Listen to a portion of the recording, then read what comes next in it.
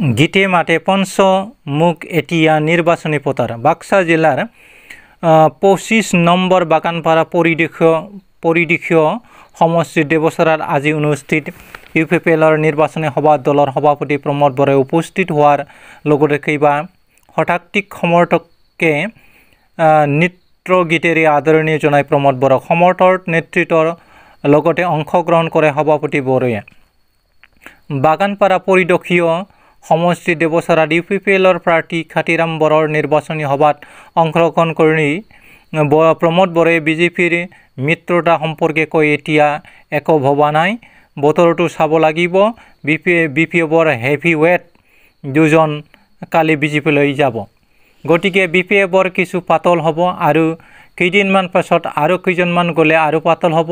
এদিন হাগ্ৰাম অকলৰীয়া হ'ব সেইটো খাটাং এতিয়া অকলে আহিছোঁ অকলে যাম ইউ পি পি এলে চৰকাৰ গঠন কৰিব কাৰো লগত মিত্ৰতা নাই।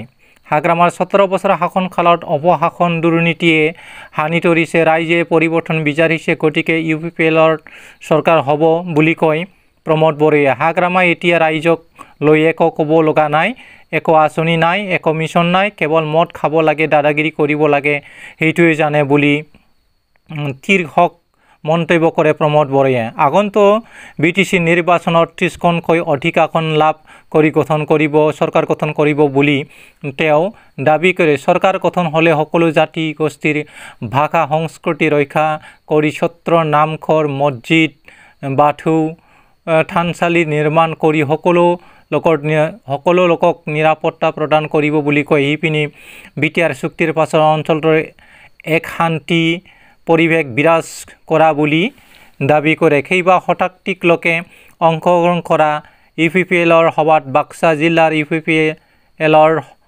সম্পাদক দয়াল চৰণীয়া সাধক সাধন বৈশ্য ধৰি কেইবাজনো জ্যেষ্ঠ নেতাই অংশগ্ৰহণ কৰে। প্ৰাৰ্থী কাতিৰাম বৰৈয়ে ভাষণ প্ৰদান কৰি বি পি এফৰ দুৰ্নীতি ভ্ৰষ্টাচাৰ বিষয়ে ৰাইজক অৱগত কৰাই ইউ পি পি এলৰ ট্ৰেক্টৰত ছবিত ভোট দিবলৈ আহ্বান জনায়। নমস্কাৰ। ধন্যবাদ।